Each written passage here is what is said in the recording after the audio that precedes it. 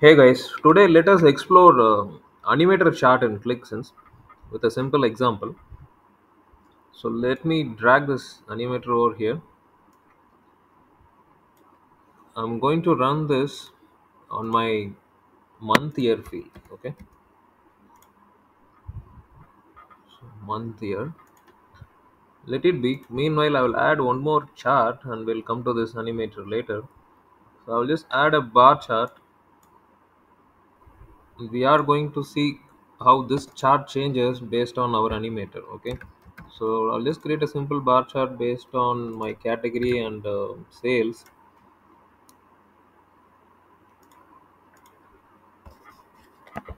Okay, I'll make it as horizontal. I'll enable the values. I'll make the color by dimension. Okay. Finally, I will sort it by total sales. Okay, and then I'll switch off the legend as well. If we don't, uh, yeah, I'll enable persistent color. And then I'll switch off the legend. Okay, so we are all good. So I have the simple chart uh, where uh, it shows sales by category. Now I'm going to iterate loop this month here and we are going to see how this category performed over the years, over the months, right? So let's before I run this, let's quickly look into few options in the animator. So first thing is we selected the dimension. On animator options, you see the time between steps. Okay, so so when when we say step, it's the time between the transition from one data to another. So in this case, in this case, July to August, August to September, right? So how much time we are going to give between these steps? So you can give a trial and error, and you can come up with your own values. I'm going to go with 1500 millisecond, which I felt is optimal. It's not neither not uh, not too fast or uh, too slow. Okay, so when we have uh, steps, okay, so steps is something I'll give it zero by default. So it, it is going to go through every month here.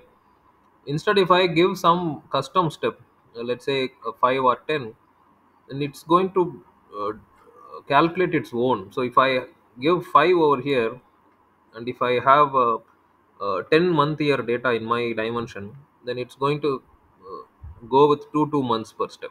Okay, so it's going to skip one month. So so that's how it calculates and then we have aggregate so these two are mutually exclusive if i enable aggregate we cannot give low um, the steps over here so if steps if aggregate is disabled then we have the option to give steps. So both are mutually exclusive. Uh, we'll see what aggregate does with an example. So what it basically does is it, it aggregates the previous step value. So if suppose i see a particular sales for a particular cat- category in this month when it moves to the next month so from july to august so this sales value will be added along with the previous month sales. So it's going to append uh, the uh, s- expre- the measure value with the previous step value okay? So loop it's going to loop. So one, once i run this it's going to go over loop repeat again and again uh, for all these month years. So dimension labels and dimension values we see here month year and the value right? So I, I can disable the dimension var label. I'll just go with the value alone okay and yes and here we you see some self-explanatory details about what we discussed right? The same thing is given over here. Let me go ahead and run this. So let's start. It starts with july and moves to august. And you could see for every month here we can see how each category performed right? So this goes on for every single step since we gave step 0 so it will go over each month here individually. And then it is going to continue uh, in, indefinitely. So since we have enabled the loop okay. So let me stop it over here. Let's say baby clothes i'll filter baby clothes alone. Then let me run this. Let's closely watch the values it's 300 1k 50 48 so these are all individual values for the respective month year okay? And this is going to loop uh, animate for this particular category alone. Now if you have noticed all these values are uh, individual values not aggregated values okay? We, we saw the numbers increased and decreased.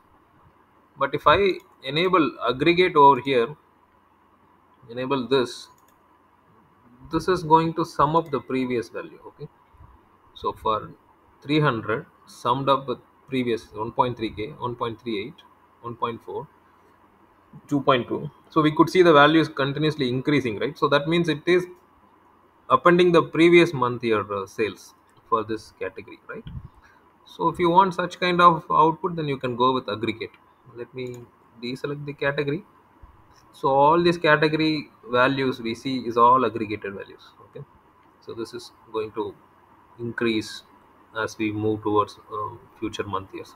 Let me go to next sheet. I have just few couple of visuals created. Let me just run this. So this when i run the animator right this is going to reflect in my entire dashboard. So all my visuals will change based on this animator uh, current selection right so you, you can have any number of uh, visuals and as a dashboard also you can have a common animator over here. So hope we got some basic understanding of uh, animator and its options and how to use where to use. Please do let me know in the comment section for any clarification. Thanks for watching